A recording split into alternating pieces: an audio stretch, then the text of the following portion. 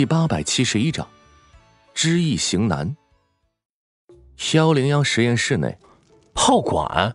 王应选吃惊的推了推眼镜。炮管。赵世珍也是惊叫一声，但是更多的是惊喜。要问这个世上除了枪，他还对什么感兴趣？那一定是炮了。气缸和炮管结构相似，要求也差不多。张健却是毫不吃惊，他显然早就适应了赵浩、羚羊挂角的节奏。能铸造合格的气缸，炮管肯定也不在话下。那，那是犯法的呀！他姐夫怯生生的道。以县里面的名义造个枪还好说，这造炮的话，我的个天哪，不敢相信呐！忘了跟你介绍了，零零所的全称是南京工部军器局军械研究所。赵浩笑着给老实巴交的四眼老秦吃颗定心丸。哦，这样啊！王应玄恍然心说：“怪不得零零所不跟我们在一起呢。”上次在军器局看过，朝廷也大多都是铜炮。赵世珍回忆道：“红衣大炮倒是铸铁的，可房梁一样粗的炮管，炮膛却比拳头大点儿。”他是军械研究所的所长，又好这口，说起来啊，自然是如数家珍。现在大明最好的炮厂，是弗朗基人在豪金奥开的卜加劳铸炮厂。听说他们供给自己人用的都是铜炮，嗯，赵浩点点头。他还想过把卜加劳的那帮弗朗基工匠给挖过来，但非我族类，其心必异，狭隘的民族主义作祟。赵公子没有动手挖人。生铁铸造失败后，摆在他面前的有三条路：一是革新铸造技术。铸铁炮管之所以在各方面的细节都已经很注意的情况下，还是难堪大用，归根结底啊，是自然冷却造成的缺陷。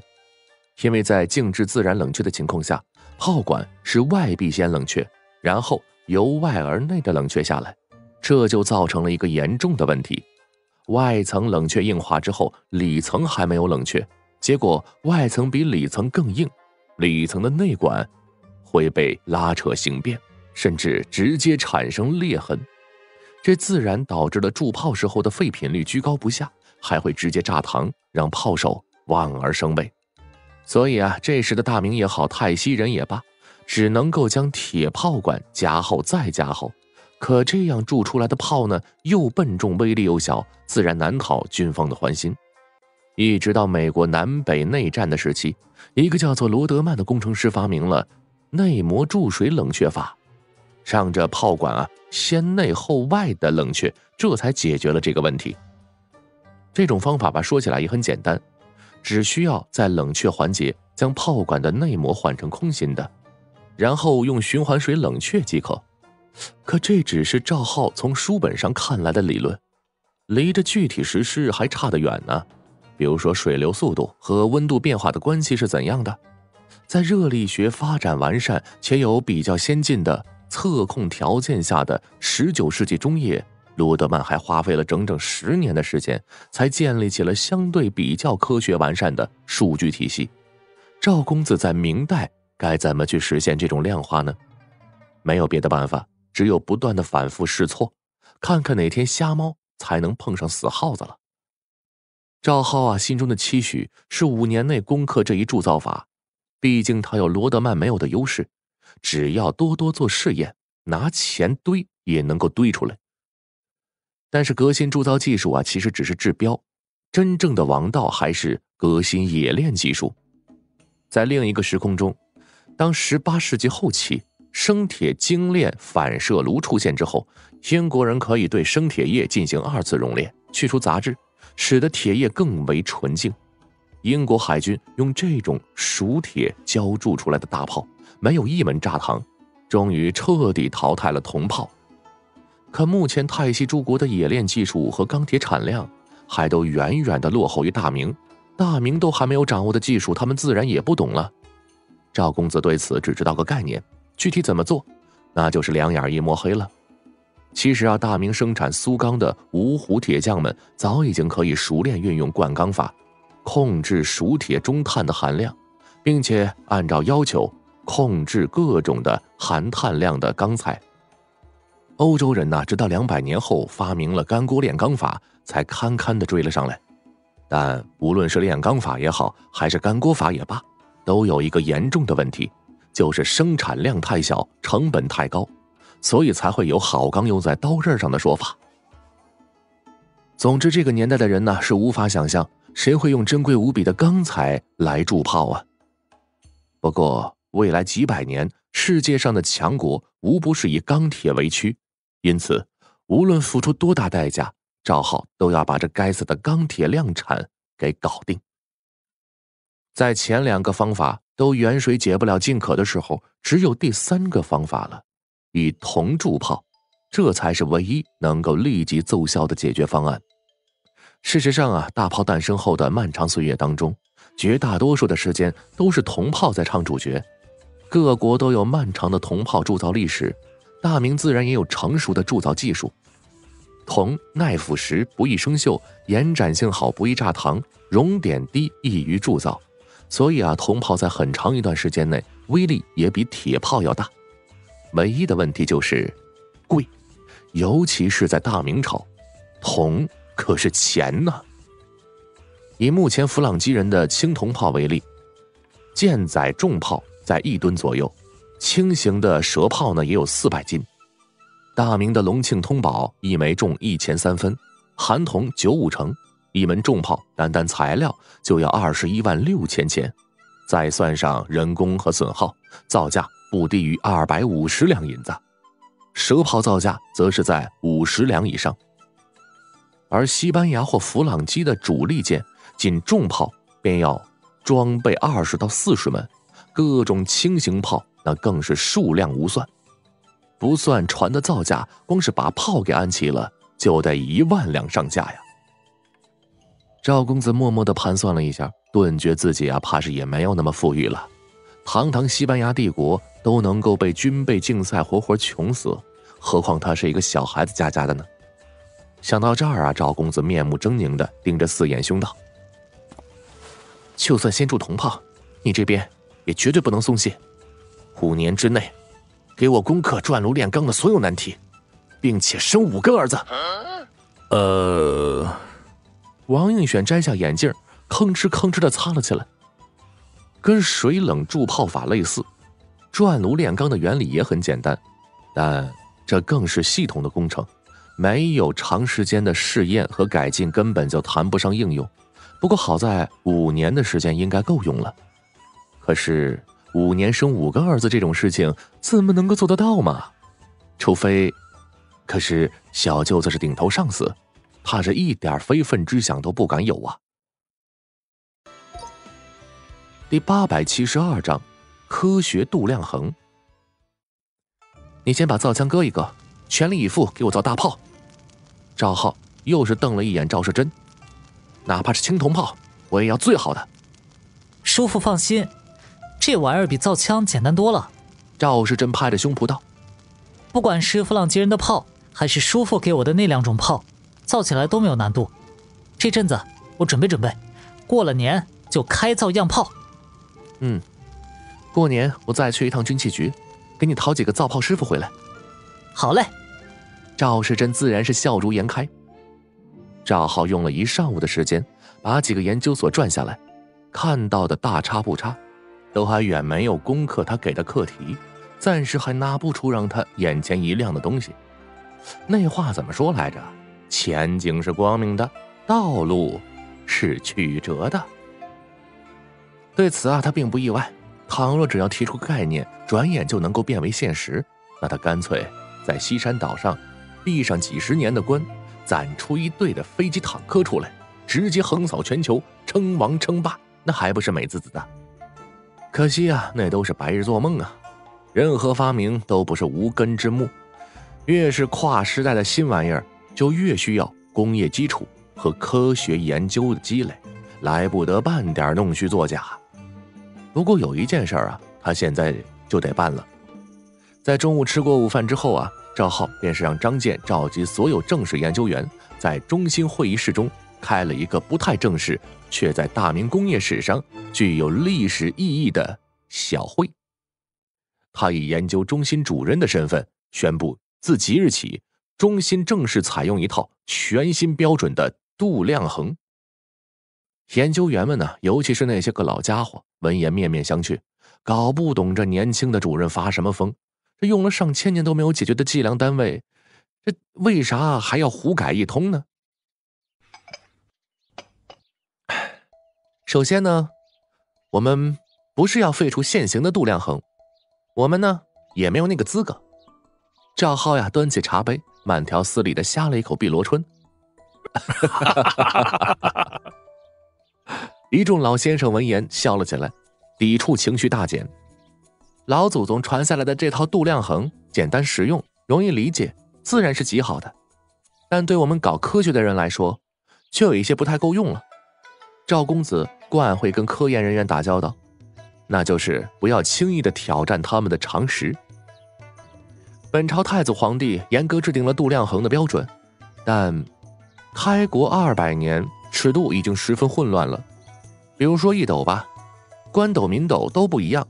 各县用作标准的铁斗大小也有出入，昆山一斗只有太仓的九成五，却比崇明大上一分。我们呢，做科学研究的，来不得半点含糊，差之毫厘，谬以千里，所以必须要将其精准的定下来。再者，我们的度量衡还要便于计算，比如一斤等于十六两，一里等于一百五十丈零一尺五寸，还有尺又分为营造尺。裁衣尺、量地尺，尺寸都略有出入，还有体积单位，粮食用担，船上用料，这是日常中没有什么不便，但是在科学计算当中就是噩梦啊！三者也是为了保护我们的科研成果，一套与众不同的计量单位本身就有保密的作用。嗯明白了，明白了，明白了。研究员们被说服了，当然，他们呢就算是不服也没什么用。因为在西山岛上，赵公子的话就是法律。几个弟子便抬上了一张桌子，上头摆着各式各样的凉器。赵浩首先拍了拍桌上的那句座钟，道：“先说最简单的，时间单位，一天十二个时辰，座钟的分针转上一圈，正好是半个时辰。我规定以一个时辰为一大时，以半个时辰为一小时，并将一小时定为六十分钟。”将每一分钟定为六十秒，日后中心所有记录都要精准到秒。嗯，明白了。研究员们纷纷点头，这样确实很方便，也比一息一刹那、盏茶一顿饭精确的许多。他又看了一眼张健，沉声说道：“目前最好的太息钟一天也有两到三分钟的误差，你们零四所要加紧吃透制表技术，争取早日将误差缩小。另外。”要对照你背试地给天象记录，每天调表。钦天监记录日月星辰，每天日升日落的时间，自然记得是无比准确，完全可以作为参照系。是师傅。张健点点头，他这几个月呀，很大精力都是放在了凉气制造上面。我规定，将分针转一圈的角度，也就是一个圆角为三百六十度。赵浩又拿起了一个量角器道：“因为它容易被整除，所以呢，很多特殊的角度都是整数。比如说，周角是一百八十度，直角是九十度，等边三角形的每个角是六十度。另外，一度等于六十分，一分等于六十秒。再说长度单位，赵浩拿起了一把黄铜尺道：我规定，一里的五百分之一为一公尺，中心的一公尺。”以这一把直尺的长度为准，简称米。他其实啊，本不打算叫米的，但是一股来自于东方的神秘力量阻止了他，总感觉这样的话会方便某些尊贵的人物一样。又规定，一千公尺为一公里。赵公子摇了摇头，甩掉了那股奇怪的念头，继续道：一米的十分之一为一分米，一分米的十分之一为一厘米。十分之一厘米为一毫米，毫米就是这尺上的最小单位。但远远不是最小的单位。说着，他拿起了一个游标卡尺道，它可以精确到十分之一毫米，可以称之为丝米。希望大家可以早日用到这个单位。会议室一阵的哄笑，他们连毫米都用不上呢。由此可衍生出面积单位。我规定，边长是一公里的正方形，面积是一平方公里；边长是一米的正方形，面积是一平方米，并且衍生出体积单位：棱长是一米的立方体，体积为一立方米。然后是温度单位。赵浩说着，小心拿起了一根长长的玻璃柱道：“我规定，在西山岛上，水沸腾的温度为一百度，冰水混合物的温度为零度。”以这根装有水银的玻璃管为温度计，分别将这两个温度标注在玻璃柱上，并且分为一百等份，每一等份便是一度。为了与角度区分开来，我们可以称之为照视度。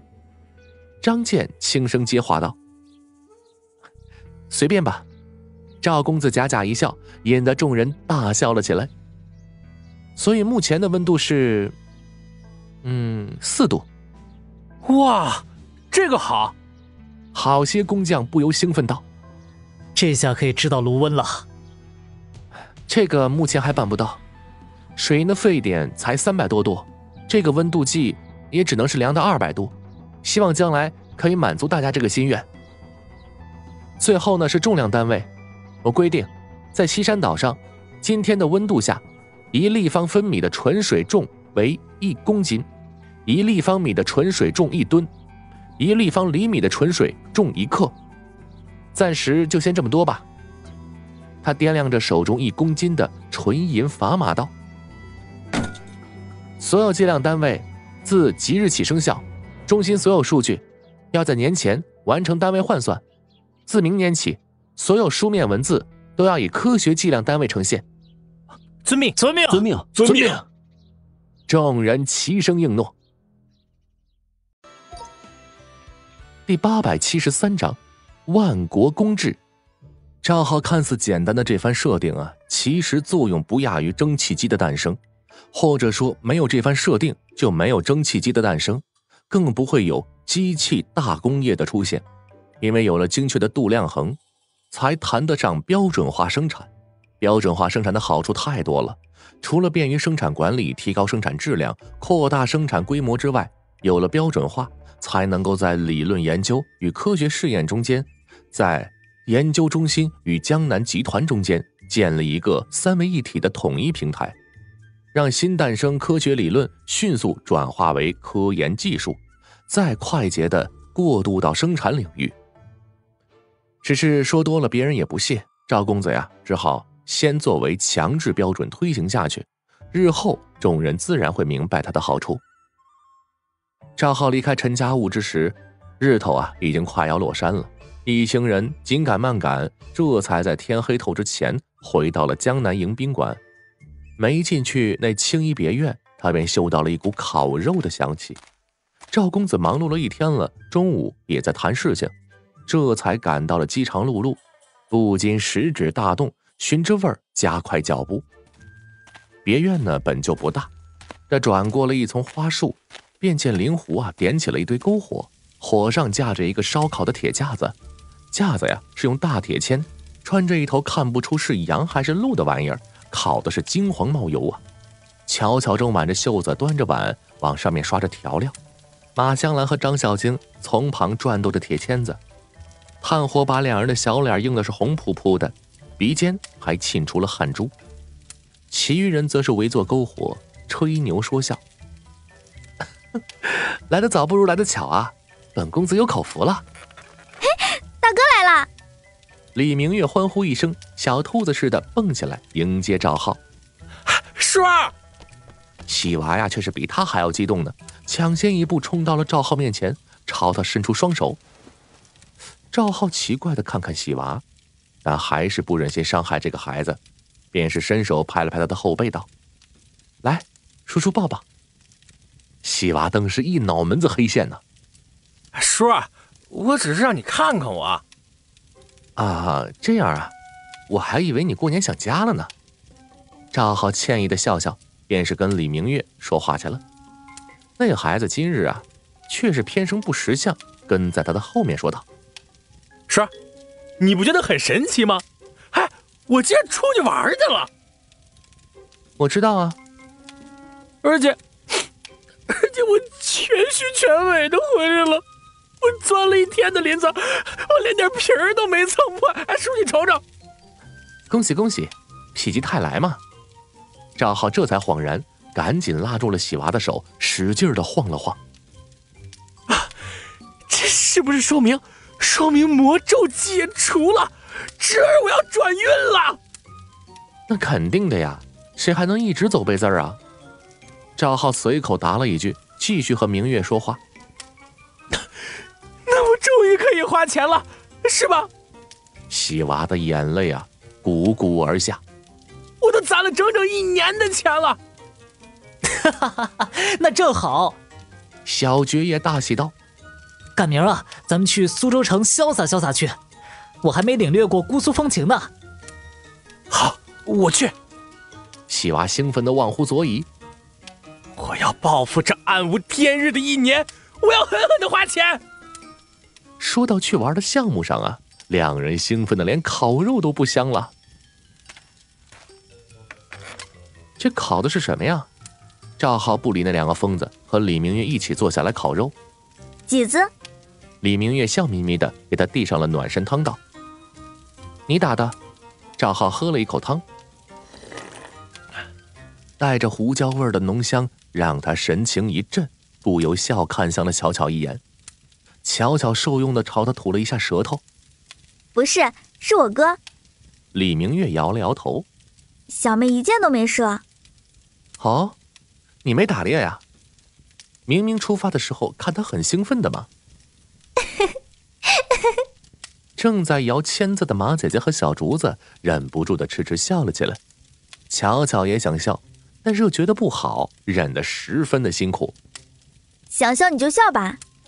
小县主一挥手道：“本姑娘不怕人笑话。”三女这才笑作一团，把个赵浩弄得摸不着头脑。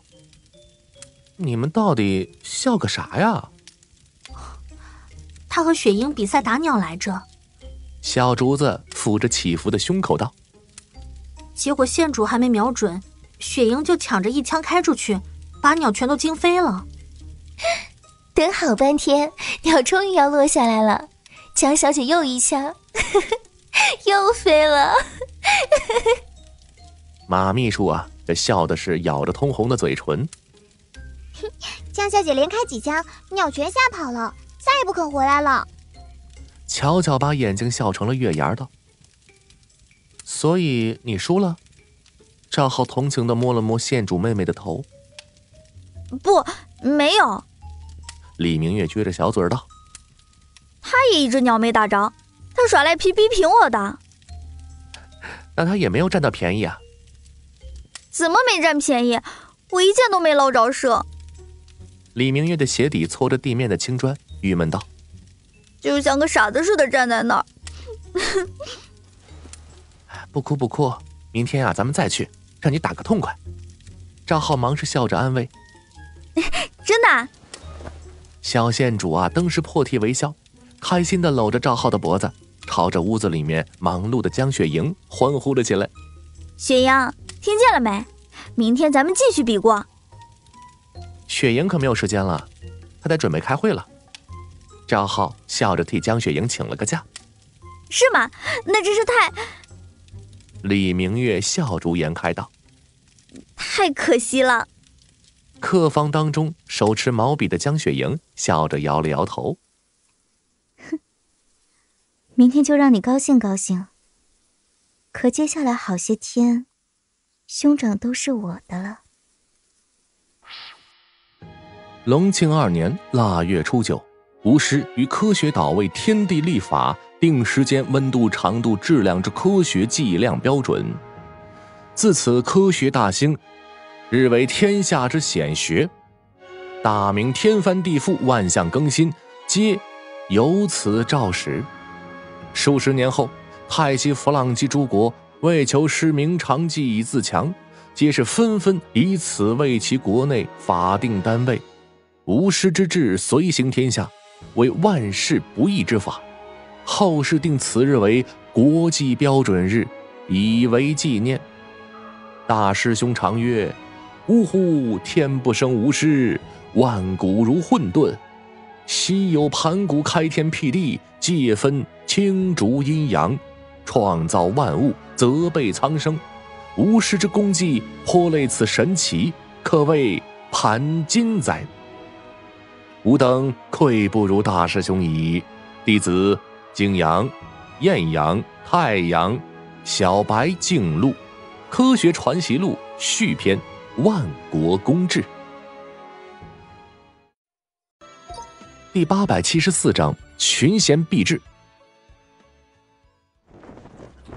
从腊月十一开始，分散在四面八方的江南集团高层，便是陆陆续续的上了西山岛，就连徐渭老两口啊，也被赵浩半强迫的弄来了。赵浩还想起赵立本也来一起热闹热闹。可是无奈呢，老爷子要坚守岗位啊，便是派他大伯来做了代表了。原先只有赵浩他们几个的时候啊，显得空空荡荡的迎宾馆顿时热闹了起来。到了临近开会时，迎宾馆呢已经是人满为患，众高层不得不将自己的随员打发出去，给新来的同事腾地方。这几天呢，可把赵浩和江雪英给忙坏了，两人每天连轴转的接见各公司的负责人。听取他们的年终报告，赵浩还得抽空跟与会的高层一一面谈，与他们提前沟通相关的任命和决策。想要开上一场胜利的大会、团结的大会、奋进的大会，就必须要在开会前把所有不胜利、不团结、不奋进的因素全部消灭掉。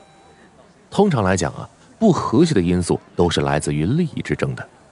不过目前江南集团还好。一是赵浩在集团内部一言九鼎，二是集团仍在草创时期，能分的蛋糕实在是太大了，所有人的利益啊都能够照顾到。赵浩主要担心的是，集团高层和管理层无法扭转思维，眼睛还是只盯着大明，甚至只盯着江南这一亩三分地，因此他主要的精力是放在思想工作上。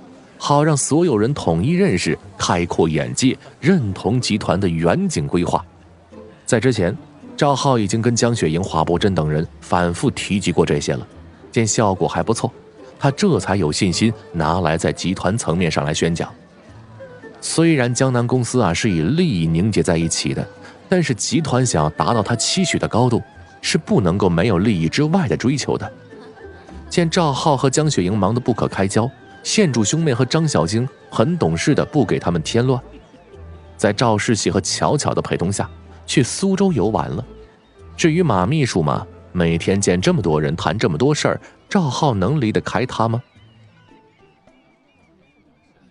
到了腊月十四这天黄昏，从崇明县来的于慎思、陈怀秀，还有牛马二长老抵达迎宾馆的时候，明日参会的四十九人悉数到齐。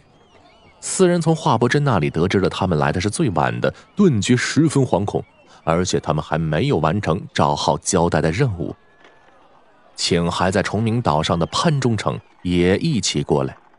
这潘继勋是最讨厌开会的，他宁愿天天在大堤上风吹日晒吃吃土，也不愿意跑到大老远去听着小狗放屁。四人和金学增啊，又没有胆量绑着一位三品大员上路，也只好是无奈放弃了。这也是他们来晚的原因。顾不上安顿了，四人便先去青衣别院请罪。不巧啊，赵浩正在与人谈话。好在高武告诉他们，公子每次谈话时间都不长，他们呀便在湖边惴惴稍后。屋里头啊，赵浩坐在宽大的单人沙发上，正跟一个胖胖的青年说话。那个青年叫做唐宝路，是唐有德的大儿子。老唐从唐记南货部抽身出来之后，他便是接手了家里的百年老店。哎，老唐多精的人呢，还能让儿子在小小的南货店里面困一辈子呀？等赵浩从北京南下的时候，他便是舔着脸的对赵公子说：“你宝路侄儿啊，已经在店里面历练满一年了，各方面都长进不少。公子回去看看是否可用。要是还顺眼的话，就留在身边，替俺老唐为公子鞍前马后吧。哎，其实不说别的呀，就冲老唐这么会舔，啊，不是这么懂事儿啊，那赵浩也不能够亏待了人家唐宝路嘛。何况这个青年既有老唐的干练，又不像老唐那么圆滑世故，而且还胖乎乎的，自然深得赵浩的器重。是以江南集团成立之后，唐宝路第一时间就加入了。为什么到现在才露面呢？嘿，因为啊，他被赵公子派去广东采办南货去了。只是采办的南货比较特殊，有番禺工匠私造的鸟嘴铳，有豪敬傲的弗朗基人贩来的钟表。甚至还有卜家楼铸炮厂出产的各式青铜炮。虽然有画家王家提供庇护，但他能把事儿办得汤水不漏，也足以说明这小子有本事了。这半年辛苦了，宝路。赵浩靠坐在了柔软的大沙发上，全靠这样的神器，他才能够撑到现在呀。马香兰给宝路端上茶，宝路赶紧欠身道谢，然后。只搁着半边屁股在长条的沙发上，说出哪儿的话？年轻不就是到处跑吗？不辛苦。宝路笑了笑说道：“就是提心吊胆，广州城的月造铳都要被我买尽了，真怕哪天被官府当成军火贩子抓起来。”幸好幸好，你功劳不小，带回来的喷子明年都够用了，就是滚粗少了点。没办法，叔，红毛鬼看得紧。每具铜炮都有编号，就是报废了也得拿旧的换新。弄回来的那几门呢，还是他们送给广州官军的。以侄儿所见，红毛鬼的保密意识远胜大明多矣。当然，跟叔父比还差得远呢。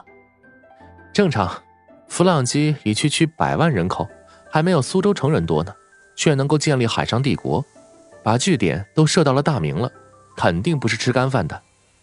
赵浩笑笑。若是平常的话，他肯定是要好好的询问一番广东的详细情况。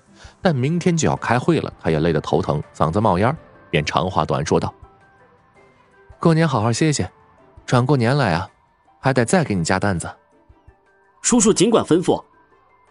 唐宝路肃容恭听。等赵浩送走小唐胖子，准备回屋歇息的时候，便听身后响起了熟悉的山东口音：“师傅。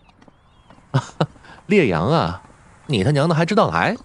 赵公子没好气的回过头来，便见陈怀秀和牛马二长老跟在五弟子的身后走了过来。呀，怀秀姐啊，你终于来了！赵浩露出了发自内心的纯净笑容。我等来迟，还望公子恕罪。陈怀秀啊，不好意思的笑笑，向着赵浩虔诚的扶一扶。怀秀姐哪的话，明天才开会呢。知道你们忙着修堤呢，不是重要的事情，实在不想打扰你们。抱歉，公子，潘忠诚不愿浪费时间。不打紧的，我料他也不会来，只是不请他的话，到时候又成了我的错，还不知被他怎样挤兑。赵浩不在意的摆摆手，又关切的问道：“小腾出院后怎么样啊？”第八百七十五章。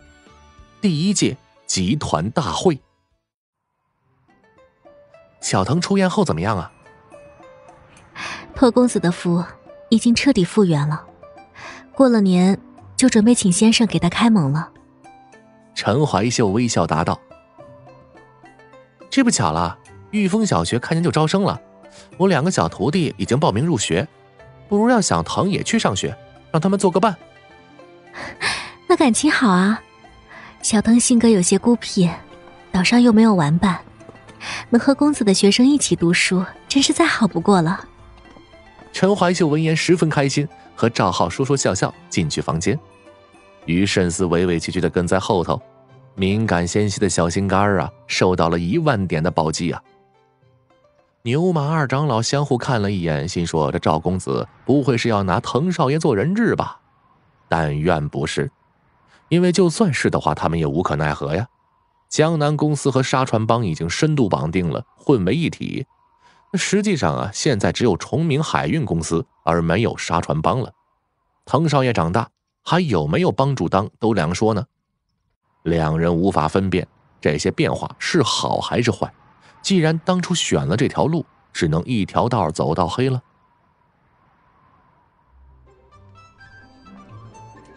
腊月十五，天高云淡，风和日丽。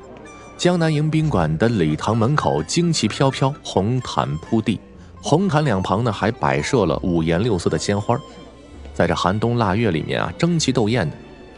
江南集团第一届集团大会便在这里举行。与会的四十六名集团高层，还有列席的赵守业和吴承恩，全都捯饬一新，按时从迎宾馆各处赶来参会。唯有徐渭还是那副不修边幅的邋遢样。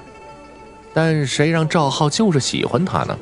也只能是原谅他这一生放纵不羁、爱自由喽。进门的时候啊，每人还领到了一朵洁白的琼花，一个精美的木匣。徐渭呢也领到了一份。当场打开一看，木匣里面是一枚纯金的参会纪念章，以及一份烫金的会议手册。就爱整这些花里胡哨的。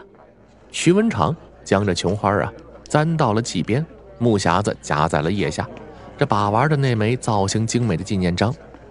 哼，你不稀罕，给我呗。吴承恩冷笑一声，他知道啊，这老伴就好这口，按照公子的画风啊，堪称是勋章屁的。我的不就是你的？徐渭却是往怀里面一藏，口嫌体正直啊！进去礼堂，便见轩敞明亮的大厅中，设着一张椭圆形的红木会议桌，外围还有着三排长条的会议桌。大厅北面墙上摆着一排覆盖着红绸的竖牌匾，环形会议桌的中空处花团锦簇。这桌上呀，摆着檀木雕成的名牌，每个名牌上面都用着金笔勾勒出了一个人名。众人呢也不用你推我让的，直接是按名入座即可。大厅一角啊，摆了一具一人多高的西洋座钟。会议九点开始，八点五十分，人已经到齐了，只剩下董事会成员还没有出现。在座的诸位集团高层当中，不乏徐邦瑞、陆匡。顾大寿这样跺跺脚，江南就晃三晃的大佬，但是所有人呢都被会议的气氛所感染，一个个正襟危坐，静静的等待着董事会成员的到来，没有人交头接耳。八点五十八分，赵浩和华伯真搀扶着华董事长从屏风后转出，江雪莹跟在赵浩的身后，王梦祥、王世茂稍稍比江总裁落后了半个身位，董秘、于奔殿后。众人不约而同地站起身来，用热烈的掌声欢迎董事会成员入座。华茶老态龙钟地朝着众人团团拱手。入座的时候看了一眼桌上，他伸出手来，将独居正中写着自己名字的名牌拿起来，跟左手边赵浩的名牌换了一下。赵浩推辞两句，华太是摆了摆手，笑道：“这里呀，都是自己人，老朽。”还坐在正位上，岂不是让下面那帮人笑老糊涂啊？陆匡、顾大寿等人应和的笑了起来。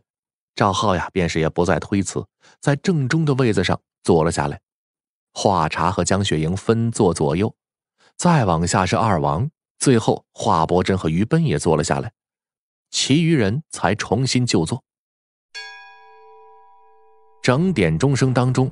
担任会议主持的华伯真便是高声宣布：“江南集团第一次集团大会正式开始。”所有人再次报以热烈的掌声，将清脆的钟声都给淹没了。掌声毕，华伯真宣布会议第一项：江南公司正式更名为江南投资集团，请华董事长和赵公子为集团接彩。赵浩和华茶将靠在北墙上。那面最高牌匾的红绸阶下，一面长八尺八、宽一尺八的黄铜名牌上，文坛盟主王世贞亲笔题写的“江南投资集团”六个遒劲雄健的大字，便是映入到了众人眼帘，自然又是一阵的热烈掌声。接着会议第二项，集团下属各公司授牌，所有公司的负责人依次上前，与赵公子一同为自己的公司接彩。足足十二面长六尺六、宽一尺二的黄铜牌匾依次揭开之后，将整个大厅都给耀得金碧辉煌。再加上两家还没有挂牌的公司以及没牌子的避暑山庄。江南投资集团旗下已经足足有了十五家的子公司了。今日四十九名与会者，除了特邀参会的赵守业、徐渭和吴承恩之外，其余啊尽数是在集团或者是这些公司当中担任要职。其名单与职务公布如下：江南投资集团总公司董事会成员赵浩、华茶、江雪莹、王梦祥、王世茂、华伯珍、于奔。其中，华茶为董事长，江雪莹为副董事长兼集团总裁，于奔为董事会秘书。江南投资集团十五家子公司分别为：一、江南金融公司，江南金融目前只下辖江南银行，江南金融的董事长和江南银行的行长由江雪莹担任，江南银行副行长为刘正奇。刘员外已经在本月被推选为新任洞庭商会会长了。江南开发总公司，江南开发董事长为王梦祥，总裁顾大栋，其目前下辖六家开发公司，分别为昆山开发公司，董事长为顾大栋，总经理戴高，另一名县里指定的副董事长昆山主部白守礼并未出席。崇明开发公司。董事长兼总经理于慎思，副董事长马东，也就是沙船帮的马长老。上海开发公司，董事长为王梦祥，副董事长陆岩。陆岩呢是上海县陆家的家主。王梦祥摆平浦东土地纠纷的方式，就是把他给拉入了伙。太仓开发公司，董事长由王世茂的大弟王世德担任，副董事长则是由王梦祥的弟弟。王业祥担任无限开发公司董事长为顾大寿，常州开发公司董事长为陆匡。目前泰开司、吴开司、常开司正处于筹建状态。三江南建材公司，其董事长兼总经理为华伯珍，副董事长赵晃是赵浩在休宁老家比较成器的堂兄。目前呢，江南建材下辖四家建材厂，分别为。江南第一水泥厂厂长华安，是华伯珍书童出身的华家管事，已在画家产业当中浸淫多年。江南第二水泥厂厂长岳鹏，江南采石厂厂长杨九，岳鹏和杨九呢都是武技原先的大嘲讽，以及筹备中的江南第三水泥厂厂长由赵晃担任，预计出了正月就开工。四。江南教育集团，江南教育董事长为赵浩，目前其下辖四家学校，校长皆为赵浩。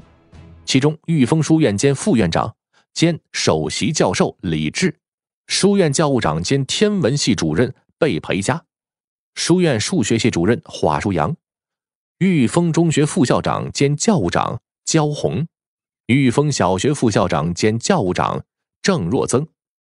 蔡家巷小学校董、副校长余生，其中玉峰中学、玉峰小学与玉峰书院一样，并非是昆山县的学校，而是面对整个江南招生的。五江南安保公司，江南安保董事长兼保安总队长金科，副董事长兼副总队长王如龙，保安一大队大队长马克龙，总教旗兼保安二大队长童子功。二大队驻扎昆山，一二大队都打着昆山枪手营旗号。保安三大队大队长马应龙，三大队打崇明枪手营旗号。另，高武和蔡明等蔡家巷出身的卫士隶属于赵浩私人的基点投资，不在江南集团序列。六江南航运公司，江南航运董事长兼总经理陈怀秀。副董事长为米奇，也就是米老叔了。江南航运还下辖一个由原五 G 车马行的仓库改制而成的江南仓储公司，其总经理为米老叔。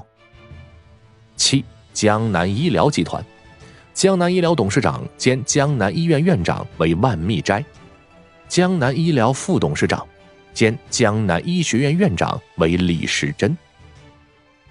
八江南纺织总公司，江南纺织董事长为刘正奇，副董事长为许志向，旗下设两家公司：江南丝绸公司，总经理为许志向；江南棉纺公司，总经理为翁凡。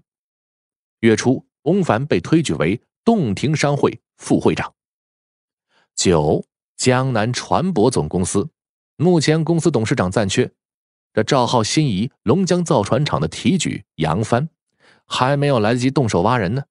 副董事长兼江南第一造船厂厂长牛义群，也就是牛长老。十，江南贸易公司，江南贸易董事长为唐宝路。十一，江南煤铁集团在筹，江南矿业董事长为徐邦瑞，这是赵浩前天才谈妥的。十二，江南制造公司也是在筹，目前公司在研究中心孵化，由张健兼任公司董事长。十三，江南瓷业公司在筹，目前公司同样是在研究中心孵化，由邢云路兼任董事长。十四，江南化工公司，目前公司同样是在研究中心孵化，由徐汝奎担任董事长，也是前几天刚刚决定的。十五，避暑山庄，山庄总经理高进，康乐部经理赵世珍。待十五家子公司的董事长皆是落座之后，会议进行第三项，由江南投资总裁江雪莹做集团年度总结报告。集团上下早已经见识了这个小姑娘的厉害，对她的畏惧甚至超过了赵公子。毕竟赵浩抓大放小，或者说是粗枝大叶，基本上不会过问细节。但是这位江总裁就不一样了，事无巨细都逃不过他的慧眼如炬啊！论起生意上的门门道道来，在座的有一个算一个，都不是他的对手。不过集团刚刚开业半年，加之江雪莹说话言简意赅，只用了不到半个小时，便为与会者提纲挈领，回顾了过去半年的发展。江总裁的总结虽然短，却是依然让人无比的震撼。谁能想象得到，这家今年六月初才成立的公司，居然在半年的时间。就膨胀成了如此庞然大物了呢？虽然大部分公司目前只是搭起了骨架，但是所有人都深信不疑，只要有赵公子的英明领导，这一家家公司很快便会发展壮大起来的。身处这样的一个集团，又居于重要高位，让人很难不生出一种身在历史、创造历史的宏大感。在大明这个已经要凝固的社会中，出现这样的生机勃勃的新生命。而且自己还参与其中，怎能不让众人激动难耐呢？坐在角落的徐渭和吴承恩对视了一眼，都感觉到了无比的震撼。这小子也太能折腾了吧！再让他捣鼓几年呢，江南公司会变成何等恐怖的巨兽？对大明到底是福是祸呀？吴承恩未免是心里惴惴，徐渭那儿啊，一直兴趣缺缺的脸上却现出了兴奋的神情。这是他在胡汝贞幕府当首席军师的时候都没有出现过的心机啊！可惜啊，自己太装逼了。赵浩几次请他在江南公司任职都不肯。这么牛逼的事业，自己居然只是个看客。孤单画家终于体会到了什么叫做装逼太过遭雷劈呀！在与会者热烈的掌声当中，华伯真宣布会议进行第四项。请赵公子发表重要讲话，于是啊，掌声更加的热烈了，经久不息。赵浩站起身来，数次抬手下压，方是将众人的掌声压下。他环顾着会堂，看着那一张张或是熟悉，或是只见过几次的面孔，同样是心潮澎湃。虽然他在北京已经成功创立了一家大公司，但是上一次充满了太多的投机取巧，而且太依赖资源了。就像四百年后的煤老板身价十亿百亿，依然是没有太多值得称道之处，也无法为社会创造太多财富，更不可能改变这个世界。但这次不一样了，江南集团是一家从建立之初就完全不一样的公司，也许赚不了西山公司那么多钱，却是一家可以改变这个世界的公司。想到这儿啊，赵浩长长的吁了一口气啊，平复了下砰砰的心跳。这时会场也安静了下来所有人都倾慕的望着他们年轻的引路人。第八百七十六章赵公子的话江南迎宾馆外戒备森严西山岛上半数保安全部集中在这里。这礼堂外呢更是三步一岗五步一哨保卫集团首脑会议的安全。礼堂中赵浩清清嗓子，终于开口道：“ 诸位肯定知道，我在之前还创立了一家西山公司，并且很快就要靠西山公司成为大明最有钱的年轻人之一。”哈哈，公子呀，自信点儿，把之一去掉。王梦祥笑着打趣道：“ 还可以把年轻去掉。”一旁的华茶也笑道，众人呢便是跟着哄笑起来。两位啊都当过首富的大佬说的没错，当今大明最有钱的人肯定是他们的赵公子了。听说西山公司啊，如今每股股价已经超过了五十两银子呀。这还是拆股之后的结果，赵公子单单西山公司的股票就值了两千万两了吧？与会者们如是朴素的算道。劈雷，赵公子咧咧嘴说道：“说这些不是为了自夸，而是想要告诉大家，当我今年端午离开北京回江南的路上，便一直在想，接下来该做点什么。”会场中马上安静下来。所有人都对这位公子的心路历程无比的感兴趣。往光明里说呀，日后可以更好的领会领导的精神；往阴暗里说，以后可以投其所好。或者说，有了花不完的钱之后，该如何度过这漫长的一生呢？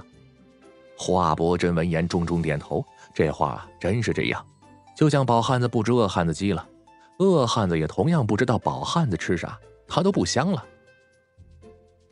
我想能够坐在这里的人，大部分都有同样的烦恼吧。就算目前没那么有钱的，很快也会面临同样的烦恼的。众人便是又笑了起来。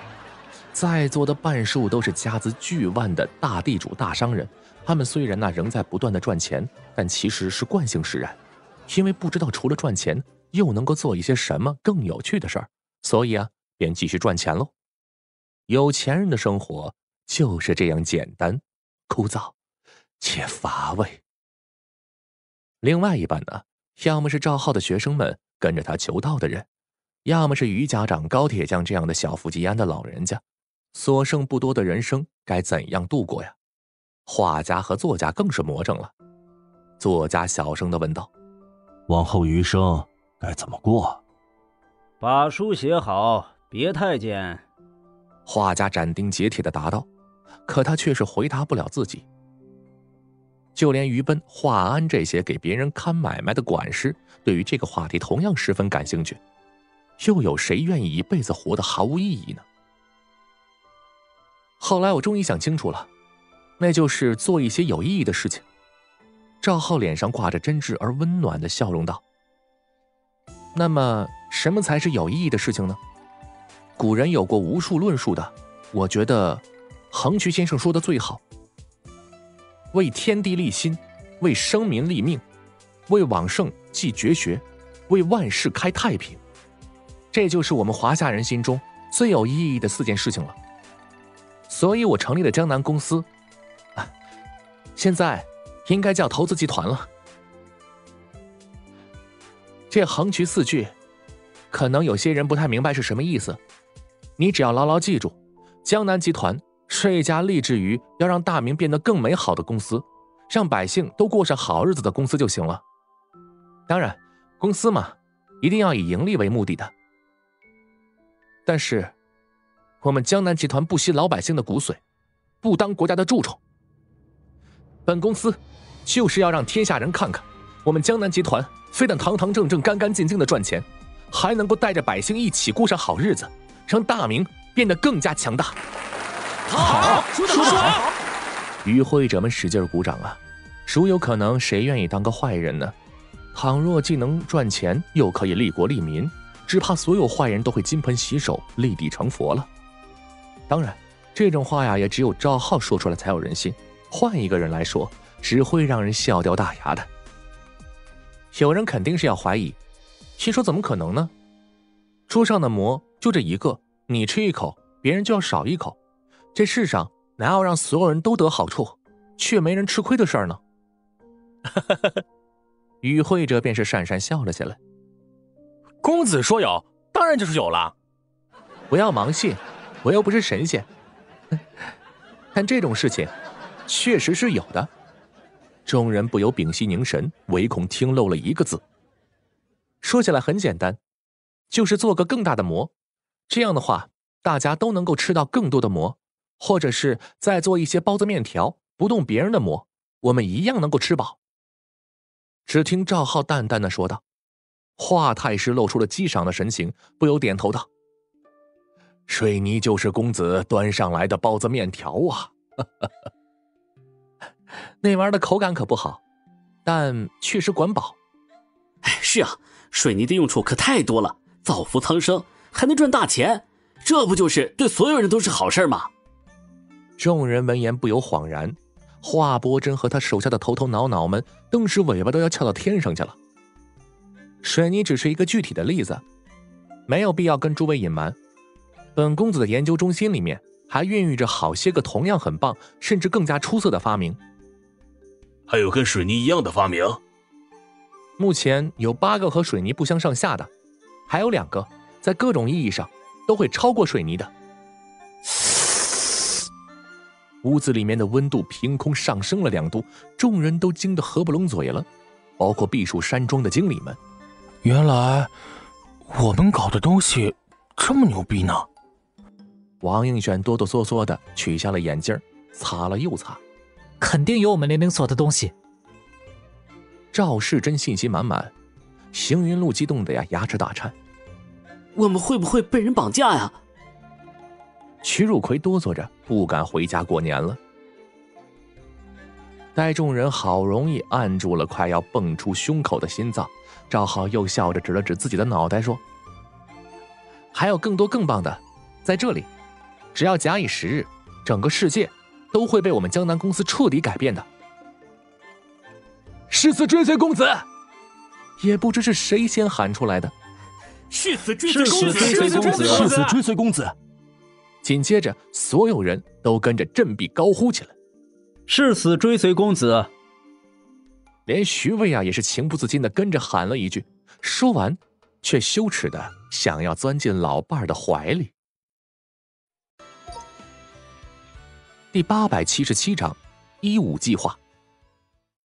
礼堂当中，赵浩连连的抬手下压，好容易才让众人的热血平复下来。千里之行，始于足下，光有热情、有条件是不够的，还得有持之以恒的努力。有计划、有步骤的去实现我们的理想，相信有诸君与我并肩作战，我们一定可以将理想变为现实的。又是一阵的热烈而悠长的掌声后，便是听到赵浩沉声宣布道：“首先，我们江南人不变的信念是，誓做大明富强繁荣的先锋队。为了实现我们的信念，我们要全力推动大明的农业革命、商业革命，乃至是工业革命。”这是我们江南人的总方针，但实现这一伟大理想的路途漫长而艰巨，我们有必要科学的去制定计划，一步步去完成它。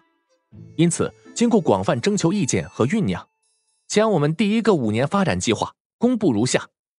与会者忙是纷纷掏出了铅笔，展开本子开始记录。自隆庆三年元月起的五年内，江南计划将致力于夯实基础。打通脉络，苦练内功，完善布局这十六字方针。下面我将从各个方面分别阐述。首先是农业方面，集团计划五年内在昆山、上海和崇明等地至少垦植稻田一百万亩，棉田五十万亩，桑田二十万亩。此项计划由江南开发总公司来主导完成。王梦祥、顾大栋等人赶紧起身应命。另外。我们要找到并试种成功若干新作物，以解决目前大明主要的粮食作物在贫土中产量低下的痼疾。此项计划由江南贸易公司来主导完成。唐宝路赶紧应命。商业方面，我们计划在五年内推动朝廷实现漕粮海运大计，且年运量要达到两百万担，这也是一五计划的重中之重。需要集团公司通力合作，由我和江总裁来牵头完成。为了达到海运运力的基本要求，我们计划在五年内拥有千料沙船一千五百艘，两千料浮船五百艘。其中绝大部分委托龙江宝船厂和苏州造船厂制造。江南造船厂要在一五期间迅速通过吸收人才，提高水平，不仅生产规模要达到官营厂的程度，还要掌握目前中西方船型制造达到世界先进水平，也就是能够造出合格的盖轮船。牛长老哞的一声，感觉是压力山大呀，他都没有听说过。什么叫做盖轮船？怪不得赵公子迟迟不肯任命江南船舶的董事长，这还真不是人干的活啊！至少老牛就没这本事。此外，我们还要借助漕粮海运之机，重新恢复海上贸易，好为江南的工商业恢复活力。但不做恶事是集团的底线，所以我们要进行合法贸易。无论如何，都要取得与藩国的贸易许可证，争取明年。恢复原有的海贸航路，五年内将海外贸易额提高五倍。此计划由江南公司董事会负责。华茶、王梦祥、陆匡、顾大寿等八大家成员全部都是起立，热烈的鼓掌。这就是他们愿意降尊于贵，跟随赵公子的原因了。另外，我们要为海外贸易提前布局，计划五年内在冀州、琉球、澎湖、澳门、吕宋。设立货站，搜集商业情报，在当地站稳脚跟。这项任务交给江南贸易负责。是。唐宝路起身高声应命。第四，建筑方面，计划五年内水泥产量提高到目前的十倍，足以供应整个江南的大型工程建设。此事由江南建材负责。遵命。华伯真高声领命。其实啊，赵浩起先只是给了五倍的计划，但他主动提高到了十倍。一万年太久了，只争朝夕。第五，金融方面，江南银行五年内要完成吸储五千万两的计划，并为集团各公司每年发债合计不低于一千万两。明白。江雪莹脆生生的应道。众人闻言倍感振奋呐。这么大的摊子，仅靠着集团自身持续投入，压力实在太大了。说是能够一直借别人的钱来发展自己，压力自然小很多。另外，五年内要在苏州试点对冲风险的期货市场，并筹建江南证券交易中心。是。第六，教育方面，计划五年内在苏州各县成立小学二十四所，中学八所，并成立一所专门的中等专业技术学校。并筹建一所高等专业技术学校，五年内至少完成快速扫盲两万人，培养全日制小学毕业生五千人，在校中学生两千人，在校中专生一千人。与会的教育工作者们神情凝重的起身领命，这可真是光荣而艰巨的使命啊！另外，玉峰书院方面，接下来五年内有两届秋闱、春闱的话，正好第六年的二月。也算是进入到了五年计划内，所以要求这两届大比，至少培养出举人五十名，进士二十名。哇！之前赵浩的任何计划呀，都不是那么容易完成的，但也只是相关负责人才会发愁，唯独此事，小伙伴们全部都惊呆了，因为所有人都知道读书人中个举有多难，这要不怎么会有跟中举一样难的说法呢？县里能出个举人，都要吹吹打打，给个立个牌坊；这要出个进士，那简直就是要撞大运了。三年才出三百来个进士啊！全国有一千四百多个县，自己算去吧。现在江南集团呢，居然是要批发举人进士，真是让人震惊到荒谬啊！谁知呢，负责此事的李治却是云淡风轻道：“低了。”什么低了？计划太低了，小菜一碟，没有挑战。李治捻着胡须，狂到没边了。哼，真不要脸！就连这徐渭啊，都替他臊得慌。要知道啊，他老两口加起来考了十七次秋闱，都没有成功过一次啊。但是赵浩知道，李治有狂的资本，他不光是辅导天王，而且还是拼命三郎。苏州、昆山两地跑不说，李治还抽空忙闲的讲学，把自个儿呢打造成学术明星，吸引无数人想要拜他为师。但李教授啊，都以苏州府学名额有限，把他们都撵到了玉峰书院入学，以至于玉峰书院还没有正式开学呢，新入读的生源已经超过了一百人。照李治这么个炒作法，接下来五年时间再来几百个秀才，那还不跟玩似的？只要学生的量上去，考中五十个举人算得了什么？不过赵浩呢，没有理会李卓吾的狂言，只要能够完成眼下计划，他就烧高香了。第八百七十八章，江南人最幸福。接下来的一些计划呢，与会者呀就压根听不懂了。什么化工方面啊，要在一五期间完成三酸两碱的研制，并且尝试工业化生产；什么机械方面，要在五年内完成标准化生产的规范。并且改进大明和西方的车床、糖床、磨床、钻床等工业母机，使其精度提高到两毫米以内。什么钢铁方面，要在一五期间达到工具钢年产量一吨，完成焦炭炉的改造，攻克转炉炼钢技术，并吃下繁昌铁矿。什么医药方面呢？要在五年内研发出新型抑菌药物和麻醉药物，基本完成新医学的理论建设。完成医学院的建设，培养医学生两百名，护理士五百名之类的。大部分人都不懂这些事情有什么意义，但他们能猜到公子所说的那些个新发明，恐怕就孕育其间。其实啊，一五计划还有很重要的一节没有公布呢，那就是军备方面。赵浩计划着在五年内完成隆庆式步枪的量产，达到年产五千支的水平。并且研制完成大小两种的口径海陆通用的青铜炮，并且达到年产两百门的水平，同时还要完成手榴弹和掷弹筒的研发定型。这弹药上啊，一五计划要达到年产颗粒黑火药五吨，年产定装子弹十万发，各式炮弹两万发。此外，还要采购月造鸟嘴铳一万支，蒲造火绳枪两千支。赵浩的董事会说：“呀，搞这么大阵仗，并不是为了造反，而是为了保护未来的海运船队。在弱肉强食的大海上，到处游弋着大明的、日本鬼的、红毛鬼的海盗船。没有一支强大的水师护航，那一船船昂贵的货物只能沦为海盗口中的美食啊！所以啊，在货船之外，一五计划内还要整体的收购至少五家闽粤民间造船厂。”并且制造大无尾船二十艘，中无尾船五十艘，小无尾船一百艘。什么？为何海上保安队还要设立一支两千人规模的陆战队？当然是要保护海外的货站喽，并且营救被俘虏的己方货船了呀！不管你信不信吧，反正董事会是信了。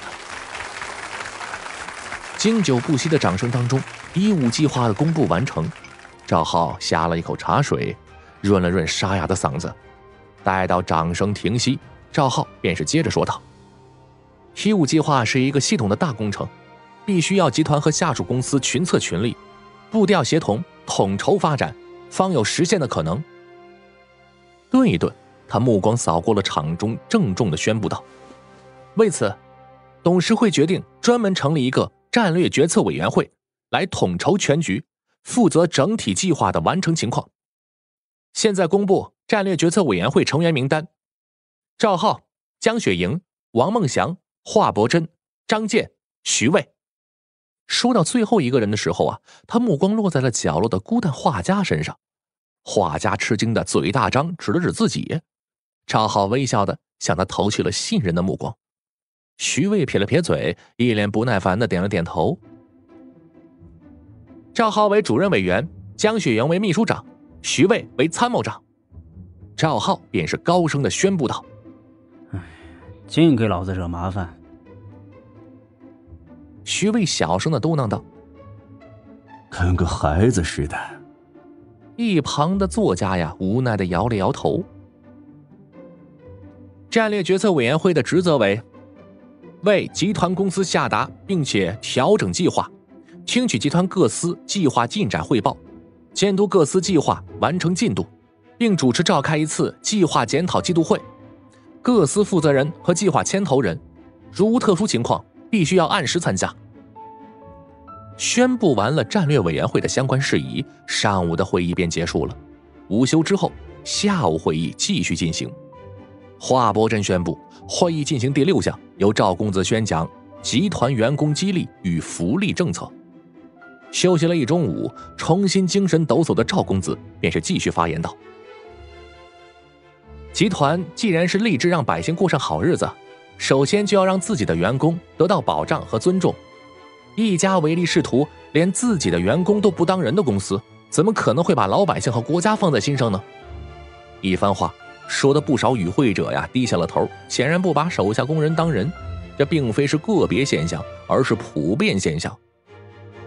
哪怕站在资方的立场上，拼命压榨工人，其实也是很不可取的。过犹不及的道理，我想诸位地主都很清楚吧？台下一阵讪笑。地主对于佃户的压榨太过，只会导致佃户抛荒逃亡，甚至出乱子的事儿，古往今来啊，不知道有多少啊。众所周知，一个被迫劳动和主动劳动效果天差地别，一个人给别人干活和给自己干活。效果也是天差地别，一个空有力气的生手和熟练的工匠干活，这效果更是天差地别。正是因为这些原因，我们要摒除旧有观念，不能够再把这员工当牲口使唤了。与会者不禁是脸红耳热，这确实是他们从未想过的角度。有钱人不就是把穷人当两脚牲口使唤吗？我们集团公司呢？为什么能够代表着全世界最先进的生产力啊？因为我们和所有人都不一样，我们要把员工当成公司最宝贵的财富，要在严格管理的前提下给他们收获、成长和尊重。只有这样，才能够让员工树立起主人翁的精神，所有人都发自内心的把集团当成自己的家，公司才能够迸发出史无前例的力量，带动大明走向辉煌。热烈的掌声再度响起。赵浩抬了抬手，压下掌声，沉声说道：“因此，集团针对全体的员工推出了三大政策：定期培训、公费医疗和职级制度。具体情况呢，由江总裁宣讲。”江雪莹接过了话头，脆生生的宣讲说道：“集团明年上半年将成立培训与考试中心，中心将为各公司下发基础培训材料。”诸位要结合本公司实际情况，制定员工培训计划，中心负责对此进行指导考核。另外，待专业技术学校成立后，中心将会与技校合作，为各司员工提供进修提升的机会。公费医疗是指所有工伤免费治疗，对于非工伤疾病费用的减免，以员工职级区分，但最低也五五开。另外。如果为公司服役满三十年，将享受终身免费医疗。哇！众人发出了惊叹声啊！这可是闻所未闻的大福利啊！下面人要是听到了这条政策，是要把赵公子当成活菩萨一样拜的呀！第八百七十九章闭幕。在这个缺医少药的年代。穷人生了病，看大夫都是奢侈的，在外头干活受了伤，东家给往家里一抬，有良心的的丢几个钱，没良心的连面都不露一下。所以呢，不管是生病还是受伤，全靠自己扛，扛过去了就赚到了，扛不过去就是死路一条。哪怕是日子稍微的宽裕些的百姓，就算是能够看得起大夫，可是这个世上庸医太多了，往往花光了钱还治不好病。现在集团居然宣布，所有的工伤集团全包，员工生病集团也出一半，说是公子开善堂，也不过如此啊！而且江南集团的医疗水平，可能跟太医院也差不多了吧？这这这公司的员工也太幸福了吧？是啊，江总裁，没必要啊！这得花多少钱呢？与会者忍不住嘟囔了起来。这就是剥削阶级的臭毛病啊！总觉得对员工好一点，好像自己跟吃了大亏一样。你给你家牲口治了病，也管牲口要钱吗？看来我说有人把员工当牲口，还真是委屈了牲口。说牲口是宝贵的财富，没人有意见，说员工是宝贵财富。我看有人就一肚子意见了，在某些人的心中，人连牲口都不如。赵浩一发火，礼堂中登时是真落可闻，所有人都低下了头来，大气都不敢出啊。消除不了这种奴隶主思想，我就只能清除奴隶主了。赵浩敲了一下桌子，冷哼一声道：“你们听清楚了没有？听清了，都给我长点记性，到时候别埋怨我不教而诛。”继续吧。角落里面，画家跟作家小声的咬耳朵道：“哎，年轻人在借机立威呢。”吴承恩恍然。赵浩这一发作呀，下午略显懈怠的气氛重新严肃了起来。会场中鸦雀无声。江雪莹继续宣讲道：“第三，董事会决定成立职级与薪酬委员会，委任我为首任主任委员，王世茂、于奔为委员，为公司全体员工建立职级体系，定为五等三十六级。自即日起，集团及下属公司。”所有新招员工都定为职业一级，此后为公司工作满一整年升一级，但升到五级并不可再逐年晋升，需要参加相关初级职称考试。但参加初级职称考试的最低要求是职业三级，即是说，员工入职满两年便可参加。考试合格授予相关职业的初级工程师，定为职业六级。然后可以继续每年升一级，到职业十级。职业十级后，同样不可再自然晋升，需要参加相关中级职称考试。但参加中级职称考试的最低要求是职业八级，而非十级。所以获取初级职称满两年便可参加。考试合格，将授予中级工程师职称，定为职业十一级，并可逐年晋升到职业二十级。想要再晋升，必须参加高级职称考试。获取中级职称满五年后，随时可以报考高级职称。但高级职称除需要考试外，还要有集团认可的成果和业绩。经过职级与薪酬委员会评议后，方能定为高级职称。直接定二十一级，可逐年晋升到三十级。三十级以上，视为专家级。没有任何年资限制、职级要求，但需要有重大发明，或对集团做出突出贡献，经由委员会提名、董事会批准，方可获得。与会者不由得讨好的笑了起来。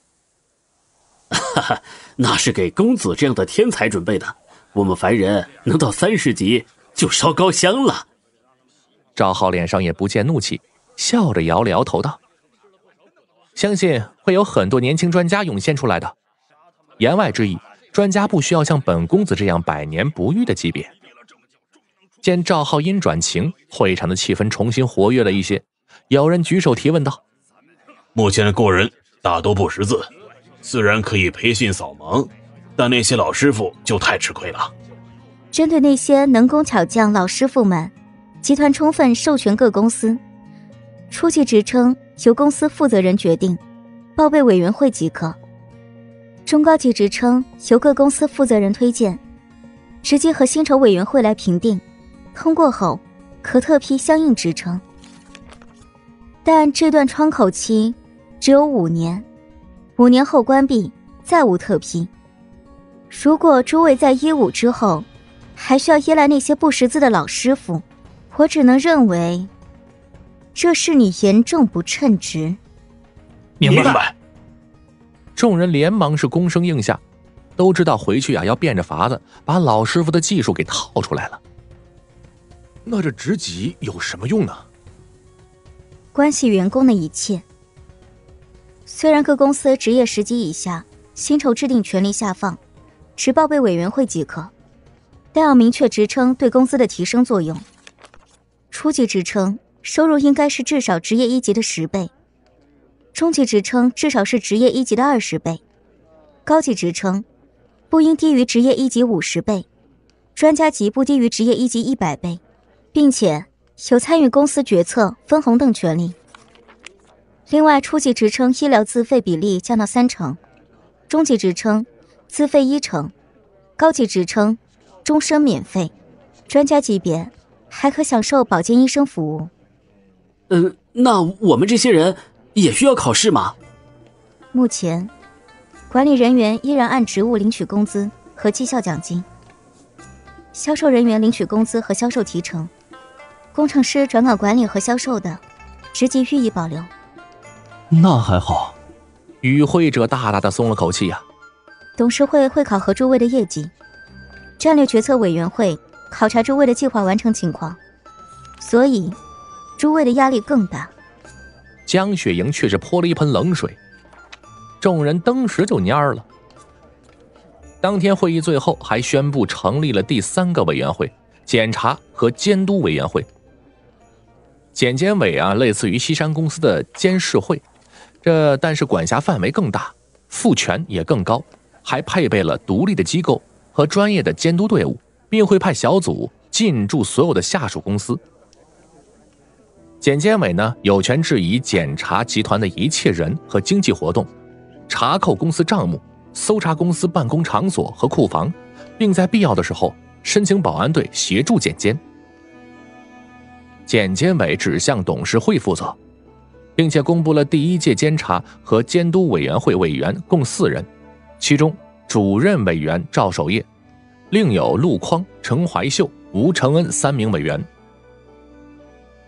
第二天啊，赵浩又用了大半天的时间宣讲了自己制定的江南集团章程，再用小半天的时间宣讲了管理层期权计划。与会者们呢，这才知道，尽管自己拿不到集团股份了，但是只要能够表现出色。还是有可能拿到自己公司的股权，当时全部都是热血沸腾起来啊！在经久不息的掌声与欢呼声当中，第一届江南集团大会顺利的闭幕了。第八百八十章除夕，又是一年辞旧时，往年进了腊月二十，昆山的百姓就开始忙着过年了，但是今年不一样啊，都到了除夕了。昆南的工地还干得热火朝天呢，没有一点要停歇的意思呀。原本县里面最乐观的计划是三期工程年前彻底完工，但是因为十月底啊，昆开司抽调了两万壮丁去支援崇明，让这工程进度一下子减缓了下来。派去崇明的主要是昆北的壮丁，昆南百姓绝大部分都留在了工地上。家里的大堤还没有修好呢，他们哪儿都不想去，而且呢，还想要修得结结实实。金汤永固，自然进度就更慢了。这都年根下了，这淀山湖大堤呢，还有一成工程量呢。城湖那边啊，更是加起来有这七八里没有修的样子。一看年前是指定修不完了，年七那天，大老爷就说：“大家先过年吧，等过了初八再开工就是了。”可是各工段呢都没有要停下来的意思。这大堤修不完，谁有心情过年呢？再者呀。虽然谁都不说，但是大家呀都存着一个表现的心理。江南集团各公司都发下来了招工简章，听识字的人说呀，优先招录在今年水利工程中表现优秀的人呢。谁不想要进江南集团工作呀？那可是既有面子又有里子。那些今年被招进去的幸运儿，一个个在乡亲们的面前趾高气扬的，这说话呀都比原先豪实太多了。什么叫做表现优秀？我们过年都没停工，这年都是在大堤上拜的。那你说我们优秀不优秀啊？还不知道什么叫内卷的困难百姓，拼命的向资方展示着自己乐于免费加班、任劳任怨的优良品质。人家呀都自愿加班了，顾大栋怎么忍心服了人家的好意呢？想到自己家养的牛，这农忙的时候呢都是要加料的，不能够让人连牲畜都不如吧？他便是大手一挥。下令过年期间，工地上顿顿有鱼有肉，还按人头发了年货。好吧，这年货是本来就准备要发的，不过每人呢多了半吊子钱。可是顾大栋在集团大会上受了教育之后的结果呀，吃饱喝足领了年货的百姓啊，是愈发干劲十足了。这工段喊出要在正月十五前完工，那工段喊出要在正月初十前完工，还有说初八就收工的。这好一场是你追我赶的最终大决战呢！一直干到天擦黑，村子里这才响起了稀稀拉拉的报账声。民夫们这才意犹未尽的收起工具，分头回家吃年夜饭去了。李华家是在李京村，距离他上工的地方啊有个五六里。散工之后啊，他扛着工具撒腿小跑，紧赶慢赶，终于赶在天黑透之前进了村。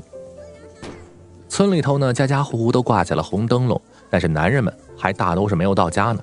年夜饭呢，定然是要比往年晚了一些。孩子们都是穿上了过年的新衣服，在街上开心的放着爆仗。只见米娃和他的副队长狗蛋，带着一帮加入的新队员，在路旁围成了一圈。被他们围在中间的呀，是一团新鲜的牛粪。昆山县搞全民卫生运动以来，家家户户责任包干，每天都要扫街的，因此呀，在大街上能够看到牛粪的机会是越来越少了。孩子们瞪大了眼睛，只见这副队长啊。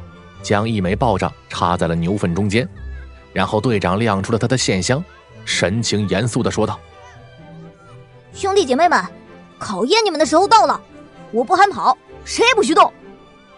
谁动谁是胆小鬼，不能再跟我们玩了。”狗蛋儿啊，抱着胳膊粗声粗气。孩子们使劲的点头。自从他俩被县里面披红挂彩。吹吹打打送回来之后啊，两位勇敢的护堤小英雄就成了他们的偶像。不被偶像认可，童年还有什么色彩呢？于是他们屏住了呼吸，目不转瞬地看着队长用线香燃了长长的引线，看着引线滋滋冒烟，飞速的变短，米娃却是忍着不出声。呃，这是我的新衣服。孩子们吓坏了呀！这要是溅了一身的牛粪，那今天晚上就是别人过年，自个儿过堂了。眼看着那引线就要燃尽了，米娃方是大喝一声：“走！”孩子们如蒙大赦，撒丫子就跑啊！身后响起了“砰”的一声闷响，牛粪炸开四溅，却是几乎没有沾到人的身上。孩子们便是忘情的欢呼了起来：“队长真厉害！咱们全村就属你最会炸粪！”狗蛋满脸崇拜的说道：“米娃呀，却是露出了不舍的神情。这应该是他最后一次带队了。之前赵公子呀，答应满足他和狗蛋一个愿望，让俩孩子回家跟大人商量。狗蛋爹娘呢，后来提的是，能够给家里面的土坯房盖成砖房子。结果呀，他一家年前就住进了全村最漂亮的粉墙黛瓦、四水归堂的砖瓦房，成为了人人羡慕的对象。”米娃家呢，却依然是住着原先的破房子，因为啊，他娘让他跟县里说，希望啊，能够让他和弟弟妹妹都进玉峰小学念书。玉峰小学师资力量有限，目前呢只招两百个学童，其中大半的名额都还是那些个士绅老爷们的，走关系托门子来给瓜分了。这老爷们图的呀，是让孩子上了玉峰小学，上玉峰中学的把握要大一些，然后上玉峰书院的把握也要大一些。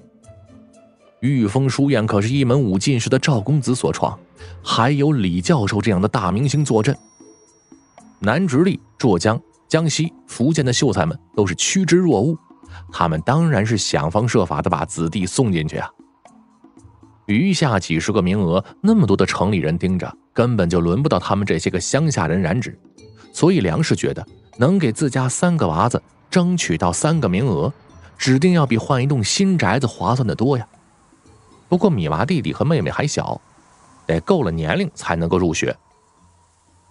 米娃将线香郑重的递到了狗大的手中，说道：“明年我去县城上学了，点炮的重任就交给你了，一定要勤加练习，不能慌了手艺。”是队长，你放心。狗蛋赶紧两腿一并，昂首挺胸。哎呀，这是哪个小赤佬干的？急呼呼的出来铲粪的邻家老汉看着满地的粪渣，气急败坏的破口大骂：“给老子收拾干净了！”呵呵，嘿，撤！米娃怪叫一声，孩子们一哄而散，各回各家去了。只留那个老汉呢，气的是直跺脚。这要是不收拾干净了，大年初一就要被家长给熏个狗血喷头了。米娃急匆匆的跑回了家，在门口呢跟父亲撞了个满怀。臭小子，急什么？又闯祸了！李华割下了扁担，胳膊夹住了儿子的脖子。嘿，哪有哪有，奶奶就吃年夜饭了。米娃嘿嘿一笑，挣脱了父亲的魔掌。什么味儿啊！李华揪起了自己的衣袖，皱眉嗅了起来，心说：莫非是我的狐臭？这大冬天的就犯了。不过怎么是个牛粪味儿啊？